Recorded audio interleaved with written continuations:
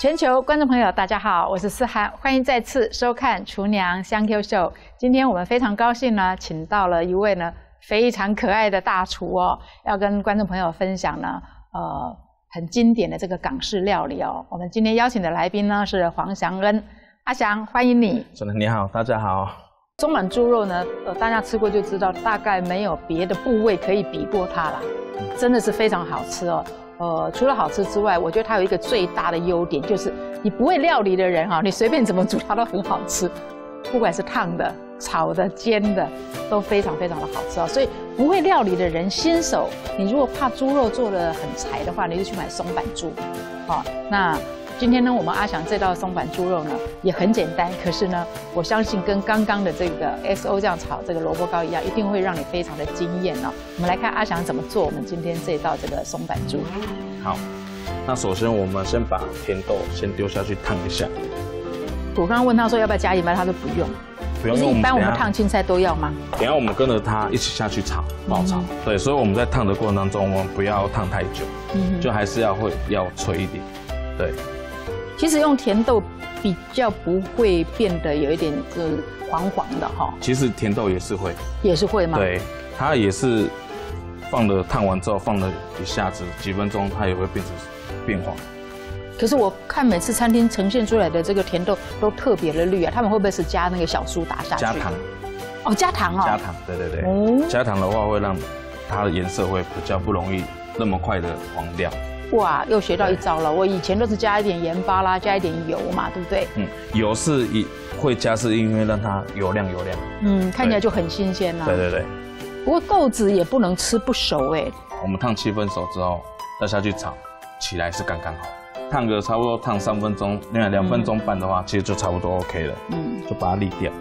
那接下来我们就是要准备炒。那一般我们在餐厅里面做的话，是一定会炸过。松板猪一定会先去炸锅，拉拉一下油。那我们在家里的话，因为我们是做家里可以方便煮，所以我们这次松板猪我们就用炒的方式。对，因为我们说真的，我们家庭主妇在家里啊，最怕是油炸的东西。为什么？那一锅油真的是不晓得该拿它怎么办哦。那所以很多家庭主妇最后就是学做肥皂了。好，就是那个油。可是后来去学做肥皂的时候，老师说，你这种油还不能这样子用，还要处理过才可以用。那么锅子热的话，我们就直接下去，把松板猪丢下去，放下去。其实有些肉片啊，嗯，不需要炸也很好吃，用我们用干用煸的，嗯哼，对，用煸的，这样子的话，反而它肉类。还有会有锅香、锅气味的味道。但是事先我们这个松板肉要不要用一些什么太白粉啊、米酒啊那些稍微腌或去怎么样去蹂躏它呢？不需要吗？其实在家里的话，我们不需要那么复杂。在家里的话，我们可以买回来直接就切片、切薄片，直接下去炒，它反而它的口感也比较好。所以今天这个你也没有加这些东西吗？这这些有是抓一些太白粉。你看嘛，我看你刚刚那个盘子，我就觉得这盘子不是只有这个很单纯的。你看，它还是老实招了。那说真的，如果要让口感好一点，还是要加一点点的这个粉啊，去抓一下，然后它就会很嫩啊。尤其是小孩跟年纪大的牙齿比较不好的哦，那如果说这个肉太柴的话呢，它咀嚼能力已经很差了，那消化也很差的话，你大概在享受美食的这个另外一个，你就失去了另外一个意义了啊。所以呃，为了他想是为了家里有老人有小孩的人，所以他就抓了一些太白粉。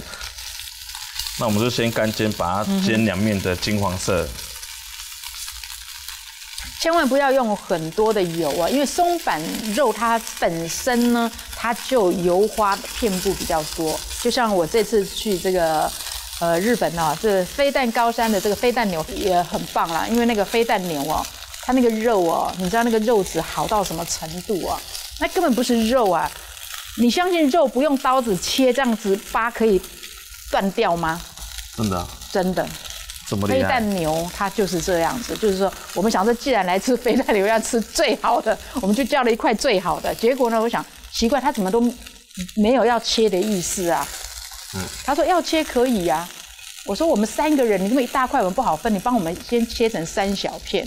结果把那一块切成三小片之后，我就看一下那个油花，我稍微用一点力气而已，那个油肉呢就自然扒开了，这么嫩，太厉害了。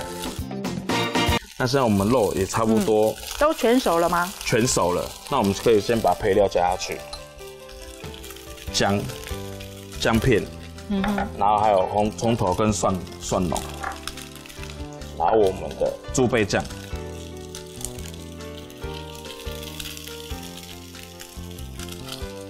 还有草菇，好香哦！猪背酱，红萝卜，葱段，那再就是我们的绍兴酒、料酒，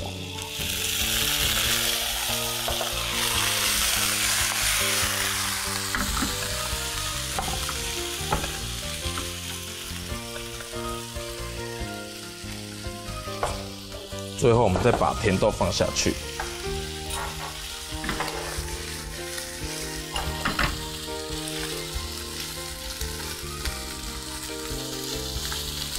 最后我们加一点酱油，提香。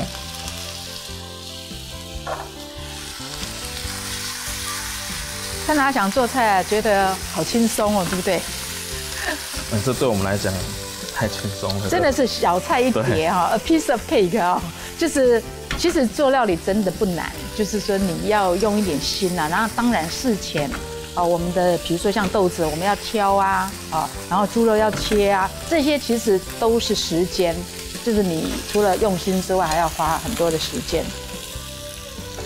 也是一样，它同样用比刚刚更更大的这个砧板呢，来装我们今天的这个呃松板猪肉。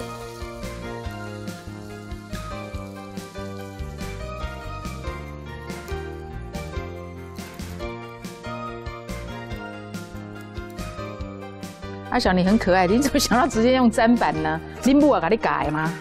是比较好看。我知道很多餐厅现在盛盘是直接连锅子都出来了。哦，我心本来在想说，嗯，它好省事哦，这样子又可以不用多洗一个盘子啊。对。后来发现没有哎，它那个锅子是另外的锅子，并不是炒的锅子直接上啊。炒的锅子直接上的话就太危险了哈。对。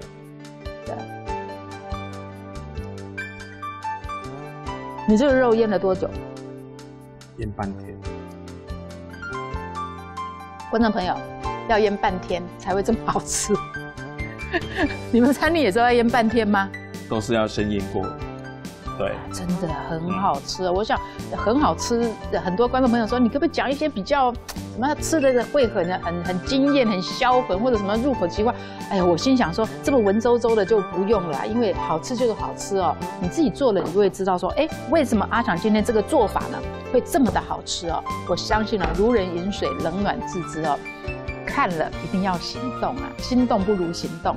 阿翔今天教的这两道呢，都非常非常的简单了。我希望观众朋友跟我一样，也会喜欢今天阿翔跟大家分享的这两道，一个是猪背酱，一个是 XO 酱，啊，做出来的这个料理啊，我相信你们一定会喜欢，因为真的超级好吃。谢谢阿霞，下次有机会我们再跟观众朋友一起分享别的好料理。OK？OK，谢谢。好，我们下次见喽。